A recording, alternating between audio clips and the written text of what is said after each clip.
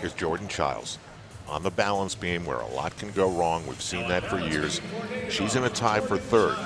So if she wants to challenge the silver medal of McCusker, she has got to nail this.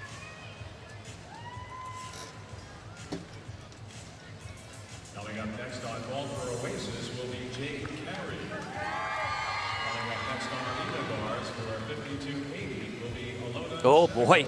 Oh, oh my. Cannot believe what she just did there. and she, she can't believe what she just did there either. That was all improvisation. She's just spinning. And It almost looked like she couldn't even stop herself. I'm just looking around at the coaches on the floor and some of the other athletes, and they're all just blown away.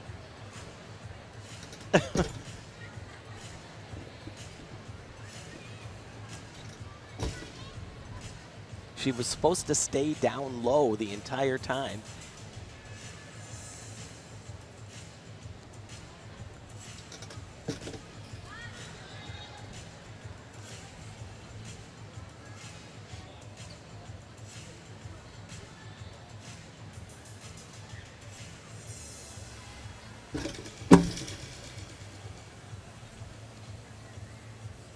Well, after that interesting start, she has definitely kind of put that beside her.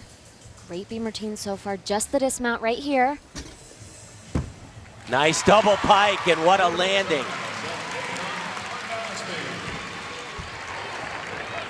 Let's check out these reactions. I think I heard her say, I have no idea what happened. I, I'm sure she doesn't. because she's supposed to stay in this position right here the whole time. She gets off balance. She stands up and she's just, she keeps turning. That she didn't come off the bench. If someone tried to replicate that, a million times they wouldn't be able to pull that off. like I said, all the coaches on the floor just mesmerized. That was a trip. I was supposed to do a double Oasis, squat, Jade but I Carey. stood up and I did a triple. You know, I don't even know if she's ever done that actually trying to do it, just a triple turn like that. Maybe she has, but that was um Well, was you called a good save. You can't get a bonus for creativity.